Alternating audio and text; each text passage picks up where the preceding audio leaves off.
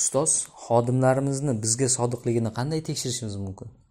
Xodimlarni sodiqligini endi odatda tabiiy emas sun'iy bir ravishda tekshirish mumkin. Ikkita yo'li bor. Birinchidan har bir xodimga pul berib kattaroq pul berib yoki bo'lmasa undan kattaroq bir pul olib sinash mumkin. Agar katta pul berganda xodimlar omonatga xiyonat qilsa aytilgan va'dalarni bajarmasa Э, bilib olish mumkin. Yoki bo'lmasa qanaqadir miqdorda pulni olib turganingizda ham xodimingizdan u уже agar uni asl yuzini ko'rsatish boshlaydi agar sizga sodiq bo'lmaydigan bo'lsa e, har xil gaplarni haqoratlarni qilishni boshlaydi. O'shandan ham bilib olasiz.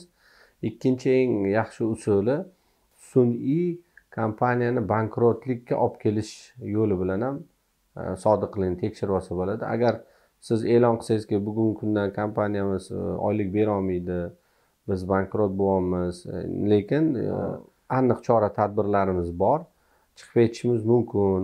Agar kim biz bilan qoladigan bo'lsa ularga maksimal kelajakda o'sha yordam berishga harakat qilamiz. Lekin oyliklar hammasi kamaytirishga sabab bo'ladi degan bir narsani aytilganda aynan sodiq xodimlar kompaniyada qoladi aynan sodiq bo'lmaganlar faqat pul uchun ishlayotgan xodimlar ketishni boshlaydi. Bu endi sun'iy ravishda qilishi ham mumkin lekin haqiqatda shunaqa holatga tushganda ham aynan sodiqlar qoladi.